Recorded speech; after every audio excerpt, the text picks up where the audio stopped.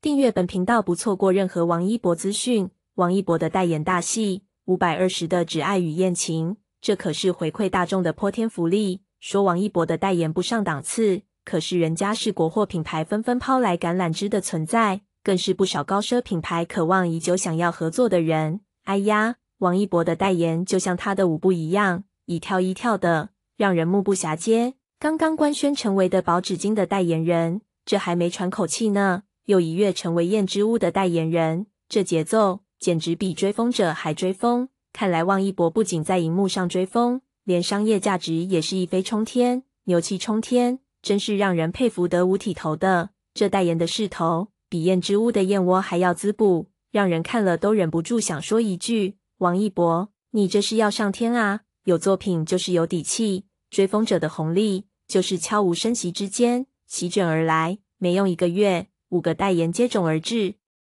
从法国鳄鱼到真维斯，从妙可蓝多到的宝，如今又来了一个燕之屋，随后还有银鹭，这泼天的代言红利果然是一骑绝尘。王一博颜值高，舞跳得好，连续这几天一直在我视角里蹦跶，跳街舞真是让人想入非非，连代言也是一拍一个准。这不，他刚刚官宣成为的宝纸巾的代言人，广东的小伙伴们都惊呆了。的宝纸巾。那可是纸巾界的爱马仕，用的宝的商家不是土豪就是有品位的大佬，这是广东人待客的至高规格，只有关系好的才会用的。王一博这波代言简直是高大上的代言人，但是等等，别急着鼓掌，好戏还在后头呢。王一博又来了个燕转，成为燕之屋的代言人，这可是女性福利啊！燕之屋的燕窝，那可是美容养颜的圣品。吃了能让人美得像王一博一样闪闪发光。说到燕窝的好处，